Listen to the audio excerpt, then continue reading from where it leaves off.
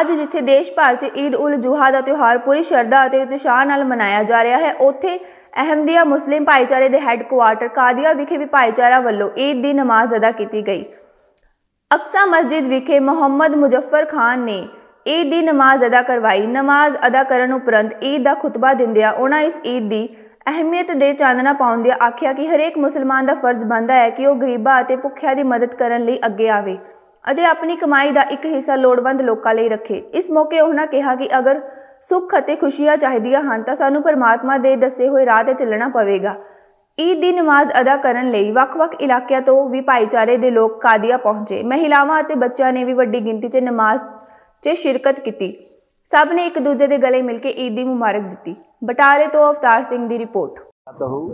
भारत हमारा महान देश जो मुख्तलिफ़ धर्मों और मज़ाहब का गुलदस्ता है, हर मज़हब के मानने वाले अपने अपने त्यौहार अपने अपने तरीके के मुताबिक मनाते हैं। इस्लाम में बड़ी दो ईदें हैं, दो त्यौहार हैं, जो एक रमज़ान के रोज़ों के बाद आती है और ये एक बड़ी ईद कहलाती है जो हज के मौके पर जो आती है। ये भी क़ुरबानी के बाद जो एक बाप, बेटे और माँ की क़ुरबानी है।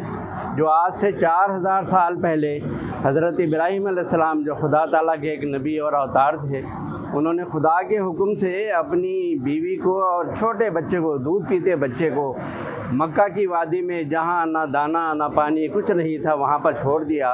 मगर खुदा ने वादा दिया था कि यहाँ खुदा की इबादत का घर बनेगा और दुनिया भर से यहाँ पर लोग इबादत के लिए आएँगे।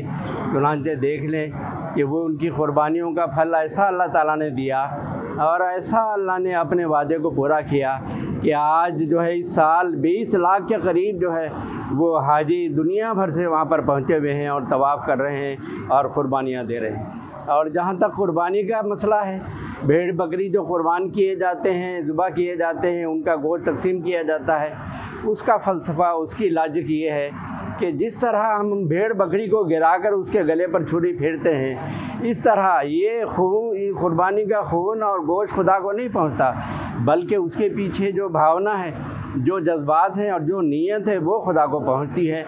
कि वो ये है कि जिस तरह ये भेड़ बकरी को हम गिरा लेते हैं और छुरी फेरते हैं, इसी तरह हम अपने रब के, अपने खुदा के आगे लीन हो जाएँ और खुदा की मर्ज़ी के मुताबिक ज़िंदगी गुजारें, खुदा की भक्ति करें, मानवता की खिदमत करें। यही जो है वो धर्म के और इस्लाम का और हर मज़हब का यही दो बड़े मकसद हैं कि खुदा की भक्ति करें।